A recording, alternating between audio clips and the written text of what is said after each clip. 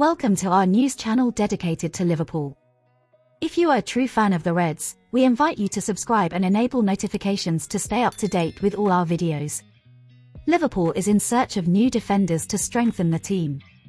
With the upcoming season approaching, it is evident that the club needs solid and talented players to bolster the defensive line. The pursuit of new defenders is a priority for Liverpool as they aim to build a strong and reliable defence.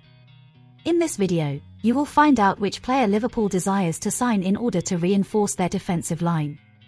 Liverpool is confident in their pursuit of defender Lewis Colwill from Chelsea, despite the club's stance that he is not for sale. Colwill, who showcased his talent during England's successful European Under-21 Championship campaign, impressed while on loan at Brighton and Hove Albion last season. Despite Brighton's failed attempts to secure him permanently, Liverpool believes they can persuade Colwill to make the move to Anfield. Chelsea has consistently maintained their position of not wanting to sell Colwill, rejecting the idea of a permanent deal since January. However, sources reveal that Colwill himself is not entirely convinced that his long-term future should be with Chelsea, despite the club's assurances of opportunities to prove himself this upcoming season. While Chelsea aims to extend Colwill's current contract, talks have not progressed thus far. The club has made it clear that players unwilling to sign new deals will be sold, as evident from the departures of Mason Mount and Mateo Kovacic this summer.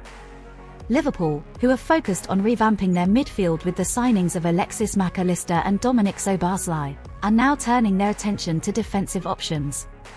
Colwill has emerged as their top target, with indications that he desires a move to Anfield, Colwill himself has expressed his desire to consider his options, emphasizing the importance of regular playing time in his decision-making process.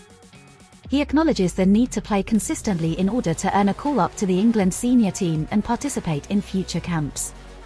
As Liverpool continues their pursuit of Lewis Colwill, the club remains optimistic about his potential arrival at Anfield. The young defender's hesitation about his future at Chelsea and his desire for regular playing time make Liverpool an appealing destination. We will closely monitor further developments and provide you with the latest updates on this transfer. Don't forget to subscribe to our channel and hit the notification bell to stay informed about all the news surrounding Liverpool FC. Thank you for joining us today, and we'll be back soon with more news.